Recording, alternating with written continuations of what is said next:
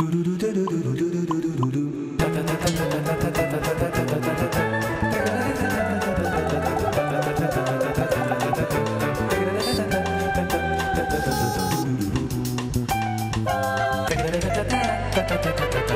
周记。这是一只古代牧羊犬，从它出生的那天起，我们就开始记录它每天发生的小故事。是他出生后的第二十五个星期。十九八七六五四三二一，好了没有啊？每次跟主人一起出门都要等好久好久哦。发发，来，我们出门了，来。耶，我来了。嗯，这什么东西啊、为什么要套在我身上？这是你的背包，以后你每次出门都得自己背你要用的东西。你的伸缩牵绳，你专用的水壶，装便便的塑胶袋，还有报纸，跟你最爱的零食，都要装进你的背包里哦。嗯，我背不动，我背大便了。嗯，背不动啊，那主人可能今天就没办法带你出门喽。哎，奇怪，我又突然背得动了。我们走吧。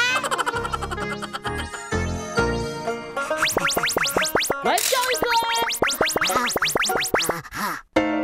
哇，这是哪里呀？嗯，这里是专门帮狗狗拍照的宠物摄影店。主人的动物医院快要开幕了，他希望可以用你的照片当做招牌，所以特别带你来拍专业的沙龙照。哇，这这里又是哪里呀？好亮又好热第一次来到摄影棚，看到这么多人看道具，吓得他一心只想往外跑。不过摄影馆的工作人员可是有经验的，一下子就把他给制服了。嗯，是什么东西绑在我头上啊？嗯，怎么还有奇怪的声音？吓死我了！是谁在乱叫啊？嗯阿法，看起来你好像不太喜欢拍照耶。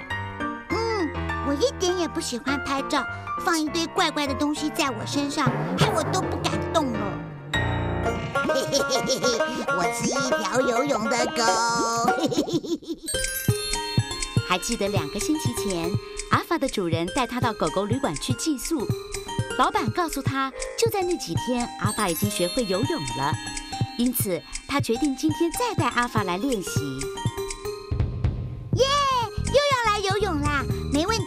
我现在已经很会游泳了。可是为什么今天还有一只小黄狗，而且它还有球耶？嗯，小黄是老板今天特别帮你请来的游泳教练。虽然你有过几次游泳的经验，但是游得还不够成熟，而小黄可以帮你再加强一下哦。喂，小黄，你在玩什么啊？上来给我看一下嘛！阿法，你怎么不到水里去玩呢？你该不会害怕下水吧？啊，我我才不怕呢！我先暖身一下啊！啊，呃我好像又忘记该怎么游了。我一定要冷静，冷静，呃冷静。阿妈来。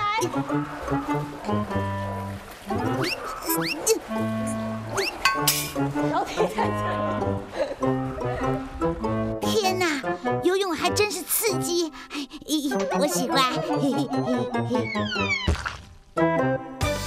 从不敢下水到悠游水中不肯上岸，阿法一路克服了他对游泳的恐惧，甚至还在小黄的带领之下，开始体验跳水的乐趣。小黄，你别跑，我来喽！啊啊啊！哇，我跳水了耶！我刚刚跳水了耶！哇，我真不敢相信。哦，就这样，阿法跟着小黄开始爱上了跳水运动，甚至在水里玩起抢球的游戏。嗯，给我，给我！为什么我都抢不到球？奇怪，而且我发现我的脚好像有点不听使唤了，嗯 好像在发抖耶。呜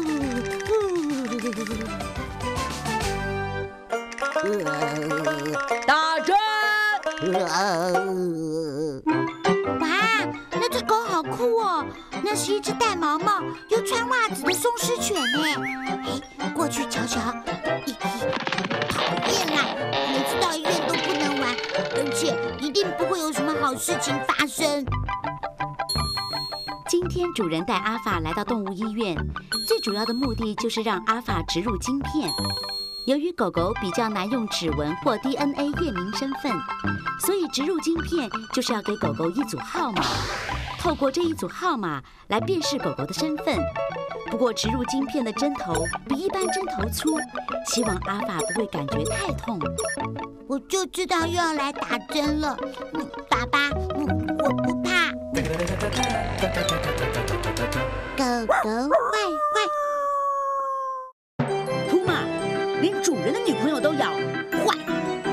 baby，咬坏电线咬坏主人五只手机，坏。哪一家的不行啊？狗怎么那么坏啊？讲都讲不听，怎么样坏啊？没有狗狗坏，只有主人不懂 why。想了解狗狗心事，就要看狗狗坏坏。哦哦今天的问题来喽，请问流浪狗会咬人吗？遇到流浪狗该怎么和它和平相处呢？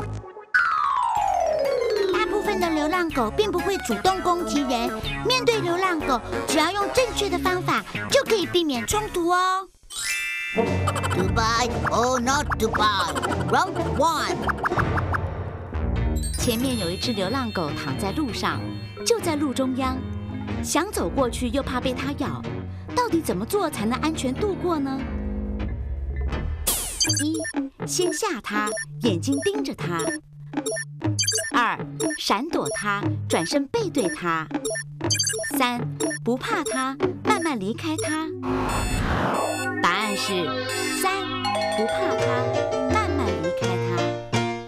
当我们碰到流浪狗的时候，根本不用怕它。为什么？因为我们长得比它高。那动物第一个就是比高比大，那我们长得比它高也比它大，所以基本上它不会随意攻击我们，但是我们不能挑衅它，啊，所以我们第一个随时保持我们的警觉性，第二个当然去注意它的表情，然后慢慢的离开它。To buy or not to buy, round two。请问以下哪只狗狗是处于警戒状态？一，英勇的小黄。二温柔的哈比，三热心的南希。答案是一英勇的小黄。当我们碰到一只狗的时候，我们要判断它会不会攻击我们，或者是对我们采采取警戒心。我们第一个看可以看到它，它会停在那个地方，然后第二个眼睛盯着我们，再来呢就是它的耳朵竖起来，或者是尾巴翘起来，啊。那假如你还不信邪，还要靠近的话，它可能就是对你龇牙咧齿啦，然后发生这个啊低声的这个这个咆哮声。要是你还不信邪，再进来的话，它可能就咬你了。To buy or not to buy, round three。请问，如果前方出现一群流浪狗，而你又需要通过那一段路，你该怎么做呢？一，先丢石头驱散它们。二，自在的走，不理他们；三，手拿棍子远离他们。答案是三，手拿棍子远离他们。通常狗是有地域性的动物，当它发觉说你入侵它的地盘的时候，可能这一群狗为了稳固它的地盘，就可能攻啊攻击人。所以当我们看到的看到有一群狗的时候，要是旁边有棍子或者是有什么长长的东西，你只要拿在手上，然后呢，用眼睛的余光瞄它，慢慢的走过去，或者是啊，慢慢的往后面走，绝对不能跑。